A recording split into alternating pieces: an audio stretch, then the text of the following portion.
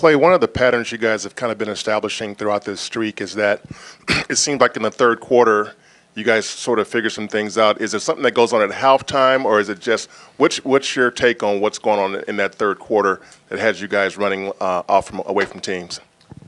I think uh, we're just embarrassed of the turnovers we threw in the first half. So uh, we will throw some bad ones. I mean, that's why we make so many great plays. But we made that big. We've been making that adjustment, and I mean, um, it's okay if we have. It's not okay, but you can get by with having 16 turnovers if you finish with 35 assists. That's a pretty good ratio. And uh, I thought we did a great job distributing the ball tonight. You- And um, a lot of those turnovers are just mental errors. And we'll, so as the season gets on, I promise you we'll, make, we'll get better about it. Klay, um, it's a little hard to hear you, just, just Sorry. an FYI. Yep, thank you. Um, What does it say again about your, your guys' depth? Everybody's contributing something when, when Steph's down or Kevin's down or somebody rests, um, Yep. just the roster that you guys have. It's what's been able to propel us to three straight finals. I really believe that our depths have been incredible.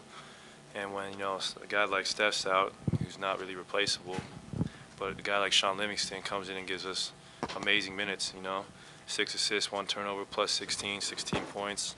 Just a great player, one of the best backups in the NBA, and really knows how to fit in with our team. And um, yeah, when Steph's out, we can't do it individually. We got to do it collectively, and it's, it goes for if it was Kevin or Draymond or me or Andre. We just have such a deep team, so give our front office credit for having that foresight to seeing this before the season. Klay, what do you think's been working offensively for Draymond?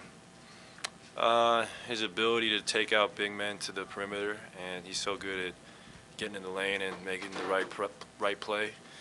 And um, obviously, it's always a bonus when he's hitting threes at such a high clip. I mean, he played great tonight, um, eight for 11, so efficient. He uh, he's just such a versatile player. I mean, he does it on both sides of the ball, and he's what he what really, he is who really unlocks our offense because we can. He's like a point forward out there. Specifically from last year to this year, how much better do you feel as a playmaker and a, and a passer? Um, well, I got to do a little more of it when Steph's out, obviously. But uh, I just like making the right play. You know, I learned that the basketball gods reward you if you make the right play every time and be patient. And that's what I've done this year, just being patient. I mean, I thought I played well tonight. Um, didn't for, I only forced maybe one or two shots. And other than that, I thought I played a solid all-around game. You enjoy nights like this when Steph's out, that you get to do that a bit more? No, because when he's out, my job's a lot harder. but it's still fun, you know. We, we're blessed to be able to play basketball for a living. Klay, on that note, with the playmaking, specifically with Shaun and Kevin, what did you see out of them and how they approached that area of the game tonight? Well, they're just great basketball players. They just make the right play every time, or nearly every time. And Shaun's been a phenomenal point guard since he was in high school. And Kevin has, you know, great vision. He's set almost seven feet and can see over everybody. Klay, um, the fans get a kick out of this. They know what's going on. Yeah. As, a, as someone who grew up with basketball, and of course have been here a few years, when things are going well, as, as this team, if all right, Steph wasn't here tonight, but you've done so much. Is it is it just wonderful just to be on the court playing?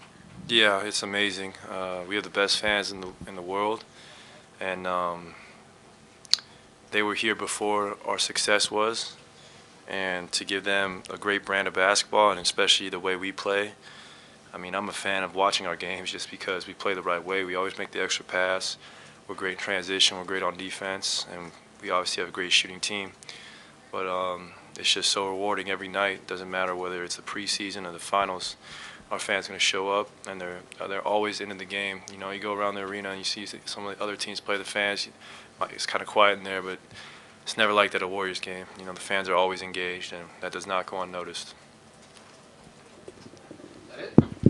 Thanks.